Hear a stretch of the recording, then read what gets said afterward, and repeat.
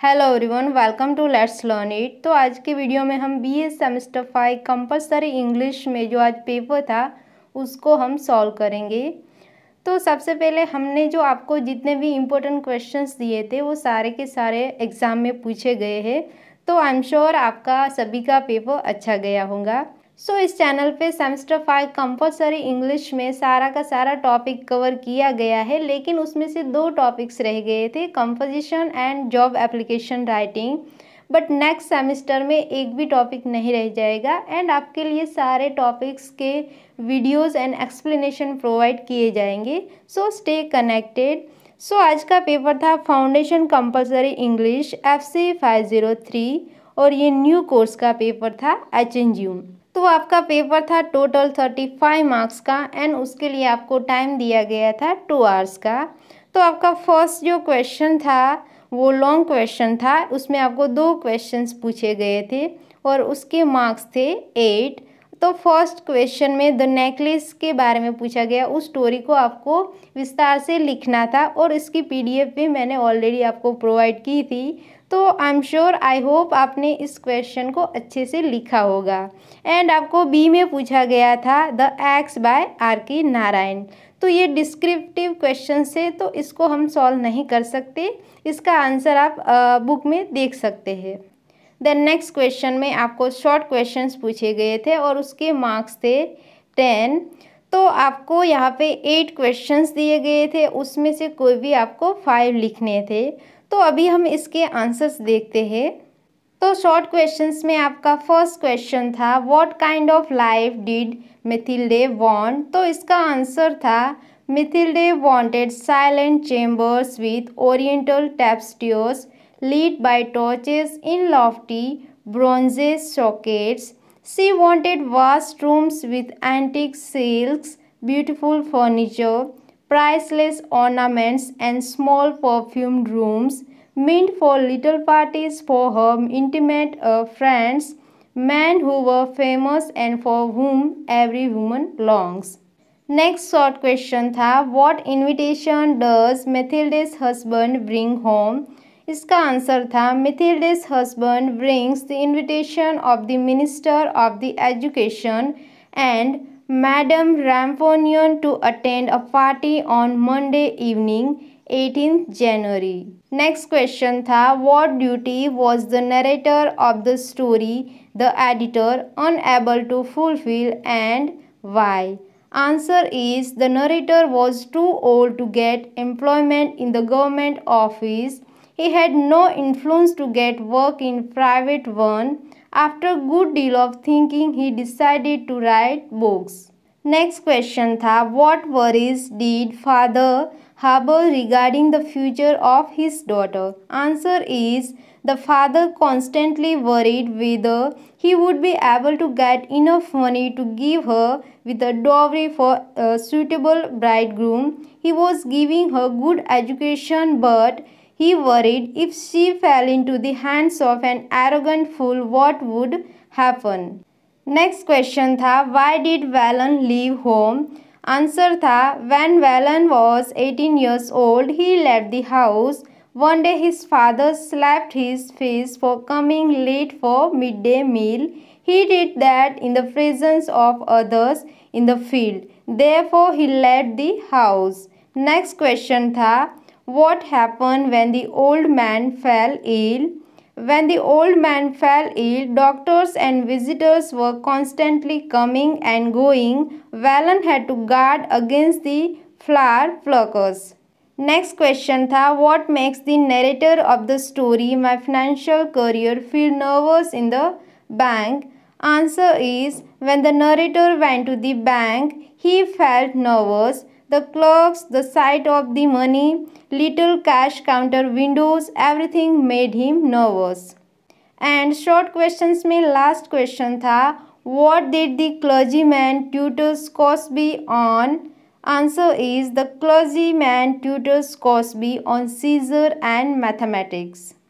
तो long questions and short questions के बाद आपके क्वेश्चंस थे फ्रॉम दी ग्रामर तो यहाँ पे पेपर की पिक्चर क्वालिटी के साथ थोड़ा एडजस्ट कर लेना। तो आपके जो ग्रामर के क्वेश्चंस थे वो, आपके जो दो टॉपिक्स थे ग्रामर के आपके सिलेबस में कॉन्कर्ड एंड टेंस तो उसमें से पूछे गए थे, आपको ऑप्शंस दिए गए थे यहाँ पे तो आपको ये ब्लैंक स्पेस को फिलअप करना था।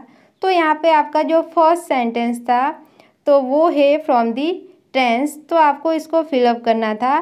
तो फ़र्स्ट सेंटेंस था listen Krishna blank a beautiful song very melodiously तो आपके ऑप्शंस थे इज़ सिंगिंग एंड सिंग्स तो यहाँ पे इसका सही आंसर आएगा इज़ सिंगिंग तो यहाँ पे आप देख सकते हैं कि इस तरह का वर्ड लिसन तो ये है प्रेजेंट कॉन्टिन्यूस तो इसीलिए आएगा यहाँ पे इज़ सिंगिंग तो नेक्स्ट सेंटेंस था he blanking this society for the last seven years तो ये जो सेंटेंस था, वो था प्रेजेंट परफेक्ट कंटिन्यूस का।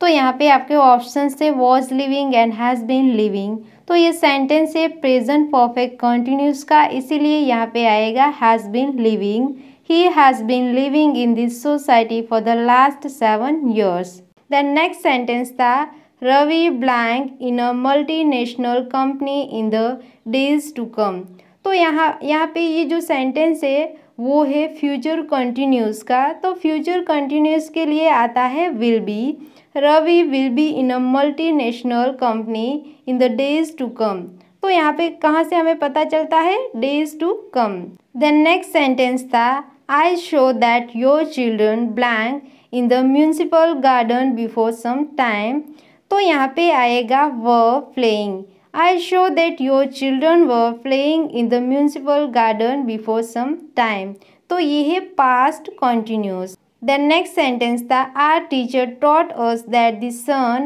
blank in the east direction. तो यहाँ पे सही ऑप्शन आएगा rises. Our teacher taught us that the sun rises in the east direction. Next sentence that the inspector noted that the thief blank away before the police reached at the place of event. तो यहाँ पे एक sentence में दो क्रियाएँ हुई है। तो बिफोर के बाद ये जो सेंटेंस है, वो है पास्ट में एंड इससे पहले का जो सेंटेंस है, वो है पास्ट परफेक्ट में। तो यहाँ पे हमें पास्ट परफेक्ट के लिए चूज़ करना है। तो पास्ट परफेक्ट में आता है हैड तो यहाँ पे आएगा had run the inspector noted that the thief had run away before the police reached at the place of event तो टेंस के बाद आपको दिए गए थे वर्ब एग्रीमेंट के सेंटेंसेस यानी कि कॉन्कर्ड के सेंटेंसेस तो यहाँ पे आपका कॉन्कर्ड में फ़र्स्ट सेंटेंस था the news blank quite shocking for her तो यहाँ पे न्यूज़ जो है वो क्या है? सिंगुलर है। तो यहाँ पे उसकी हेल्पिंग वर्ब भी सिंगुलर आएगी। तो यहाँ पे इसका सही आंसर आएगा। The news was quite shocking for her then next sentence था each of my friends blank going abroad in the nearest future तो यहाँ पे हमें ये जो हेल्पिंग वर्ब चूज़ करना था तो वो किसके बेस पे चूज़ करना था? यहाँ पे आप फ्रेंड्स के बेस पे चूज़ नहीं कर सकते। आपको इस, यहाँ पे देखना पड़ेगा कि सब्जेक्ट के पहले अगर ईच एवरी नन इस तरह का कोई भी वर्ड रखा गया है तो उस सेंटेंस में हेल्पिंग वर्ब भी जो है वो सिंगुलर आएगी। तो यहाँ पे सही आंसर है is each of my friends is going abroad in the nearest future then next sentence था one hundred forty miles per hour blank the speed of his car at the time of accident तो यहाँ पे इसका जो answer choose करेंगे, यहाँ पे आप सब, सब्जेक्ट में देख सकते हैं वन हंड्रेड। तो उसके लिए आएगा वॉज़। तो one hundred forty miles per hours was the speed of his car at the time of accident. The next sentence था, neither she nor her children blank attended the wedding ceremony. तो यहाँ पे हमने इस तरह के sentence solve किए हुए थे और मैंने आपको बोला था कि जिस भी सेंटेंस में जो दो नाउन होते हैं, वो नीदर नॉर से जुड़े हो तो उसका जो जो हेल्पिंग वर्क चूज़ करना होता है, उसका जो नियरेस्ट नाउन होता है, उसके अकॉर्डिंग हम उसका आंसर चूज़ करेंगे, यानी हेल्पिंग वर्ब चूज़ करेंगे। तो यहाँ पे इसका नियरेस्ट नाउन है चिल्ड्रन तो चिल्ड्रन क्या है? वो प्लूरल है। तो यहाँ पे उसकी हेल्पिंग वर्ब भी प्लूरल आएगी, यानी कि इसका आंसर आएगा have neither she nor her children have attended the wedding ceremony then next sentence था not only Sonu but also Monu blank very dear to me तो जिस भी सेंटेंस में दो नाउन नॉट ऑल्सो से जुड़े हो, वह, वहाँ पे भी हम उसका जो नियरेस्ट नाउन होता है, उसके अकॉर्डिंग उसका हेल्पिंग वर्ब चूज़ करेंगे। तो यहाँ पे नियरेस्ट नाउन है मोनू तो मोनू है सिंगुलर तो इसका वर्ब जो है हेल्पिंग वर्ब भी सिंगुलर आएगा, यानी is not only Sonu but also Monu is very dear to me then last sentence था आपका ग्रामर में।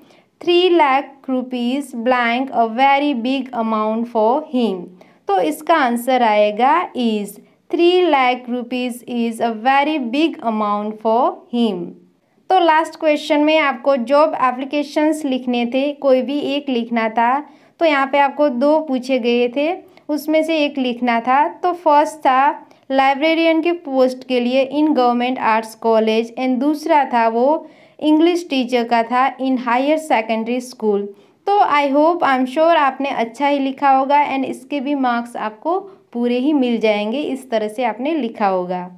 सो आई होप सभी का ही पेपर अच्छा रहा होगा सभी ने ही अच्छा लिखा होगा सभी के ही मार्क्स अच्छे आएँगे।